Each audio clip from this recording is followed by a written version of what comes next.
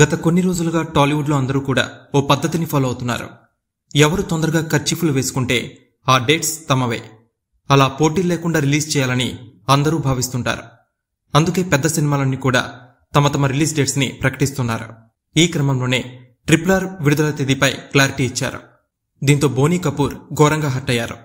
అది అన్యాయం అంటూ బహిరంగంగానే అసమ్మతి ప్రకటించారు. పెద్ద పెద్ద సినిమాలు గ్యాప్ లేకుండా విడుదల చేస్తే ఎంత నష్టం వస్తుందో ఊహించలేం.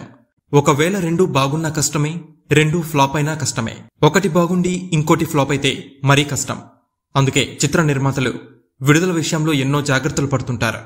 మెగాస్టార్ చిరంజీవి విక్టరీ వెంకటేష్ ఈ సమ్మర్లో బాక్సాఫీస్ వద్ద పోటీకి సిద్ధమయ్యారు. ఎందుకంటే తాజాగా ఈ రెండు చిత్రాల నిర్మాతలు విడుదల తేదీల్ని ప్రకటించారు. ముందుగా నారప్ప మే పద్నాలుగున విడుదల చేస్తున్నట్టు ప్రకటించారు. ఆ తర్వాత కాసేపటికే మే పదమూడున ఆచార్య రాబోతుందని కొనిదల ప్రొడక్షన్స్ ప్రకటించింది. వెంకీ నారప్ప చిరంజీవి ఆచార్య రెండూ కూడా పెద్ద ప్రాజెక్ట్సే. అందులో నారప్ప కథ దాదాపుగా అందరికీ తెలిసిందే. అది అసురన్ సినిమాకి రీమేక్. అయినా కూడా మంచి అంచనాలే ఉన్నాయి.